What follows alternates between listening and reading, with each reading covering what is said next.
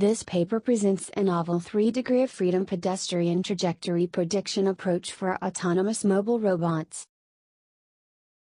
In the real life, most human activities are environment and time specific activities. We aim to learn context dependent human activities from the long term robot deployment data. In our approach, a triple layer LSTM is trained in a sequence to sequence encoder decoder form to predict the future pedestrian poses.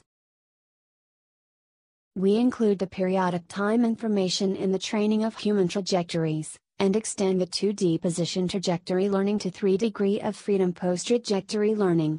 We train and evaluate our approach using more than 15 km of pedestrian trajectories recorded in a care home environment over a period of 3 months.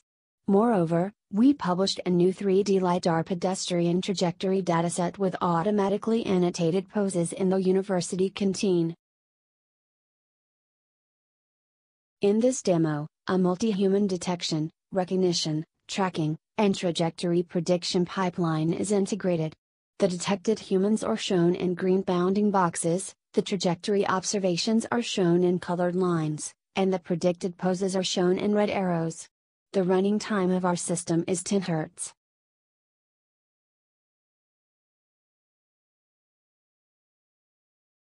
Our approach utilizes the correlation between different sources of input and is able to predict more information without losing accuracy.